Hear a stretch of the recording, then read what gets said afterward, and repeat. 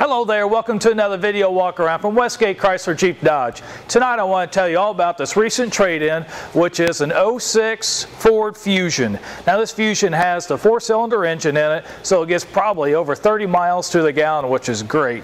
Over here the Fusion has a rear deck lid spoiler, tinted window so it gives off a real sporty appearance. Plenty of trunk space.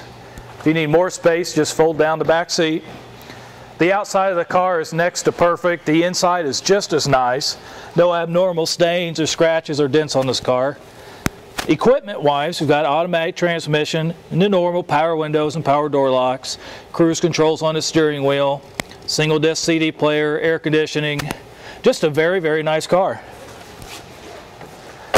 I hope this video walk around showing you how nice this Fusion is and I want to personally invite you to come out and take a look at it. If you'd like to see any of the other new or pre-owned inventory, please find us at westgateauto.com where it pays to do your homework.